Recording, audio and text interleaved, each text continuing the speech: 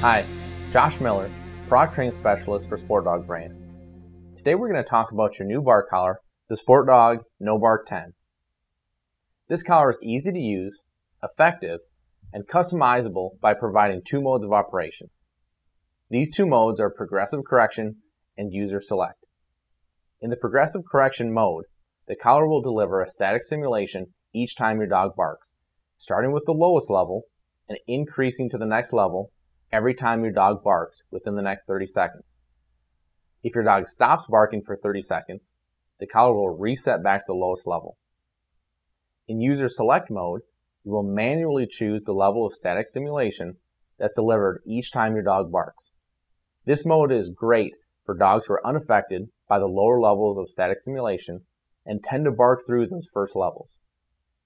This unit features 10 levels of static stimulation. As a safety feature, if your dog barks 15 times in 80 seconds, the collar will stop delivering static stimulation for 30 seconds before resuming to normal operation. With a rechargeable battery, on average, you can expect 200 hours of operation per charge. For more information, visit our website at sportdog.com.